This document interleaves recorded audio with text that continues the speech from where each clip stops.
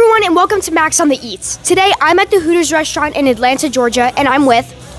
Tori. What is the most popular menu item here at Hooters?